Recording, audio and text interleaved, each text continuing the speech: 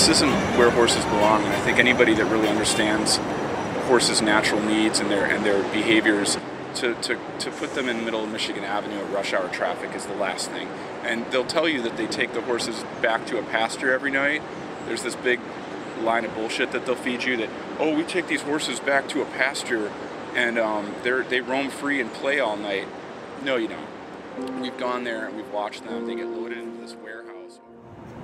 Typical day of, of, a, of a horse pulling a carriage is, depending on who you ask, if you ask me, you'll get the truth. If you ask a carriage driver, you'll get this uh, shiny, happy story. But you know, they're supposed to only work a set number of hours a day, and they end up working double that. They end up working about 12 hours a day, sometimes more.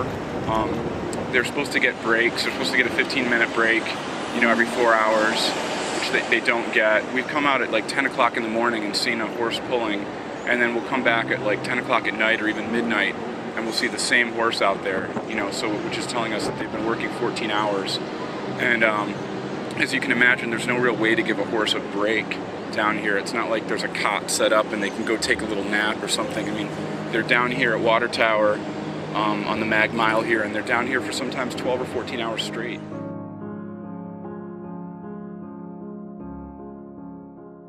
For about one of the companies um, getting shut down because they had so many citations for abuse and neglect of their horses. They weren't um, they weren't being housed in a permanent structure. It was just kind of this ramshackle, uh, hodgepodge put together uh, structure with a big tarp over it. It really wasn't protecting them from the, the Chicago winter, and a lot of them were underweight. And I saw this on the news, and I thought this is this is unbelievable that they they're charging people, you know, eighty dollars for a carriage ride for for an hour carriage ride, yet they're not able to take care of or, or feed or house these horses properly. So I started doing a little bit of research into it, and I started. Um, poking around online and, and finding out the truth, and I saw how many horses were um, killed, you know, hit by cars, hit by buses, died of heat stroke, heat exhaustion, all this stuff. And kind of the more I looked into it, the more it was the exact opposite of I think what everybody looks at the horse carriage ride as charming and endearing. It was really kind of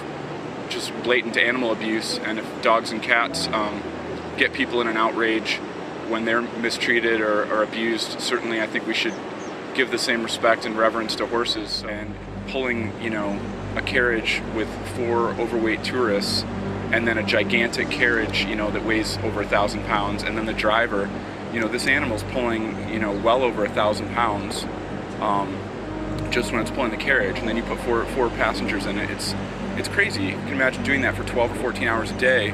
Um, and the carriage drivers will always say the same thing. Well, these animals are they're they're built for work. They're made for work.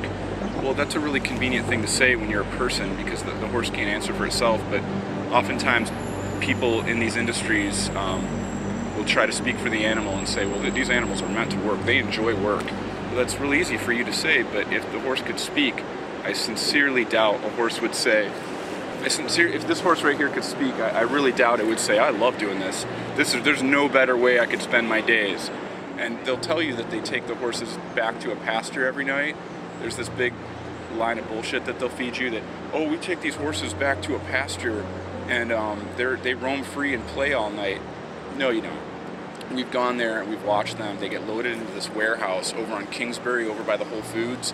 It's literally a warehouse with all the windows painted black, so like no sunlight gets in. There's no ventilation, so when they open the garage door, it just smells like horse shit because it's full of horse shit. Um, and you know, it's a dark, gross, dirty warehouse. And for them to feed that line of bullshit that they take these horses back to some non-existent pasture at night and they roam free and frolic, even if that was true, do you think a horse would want to roam free and frolic and run around after pulling a carriage 12 hours?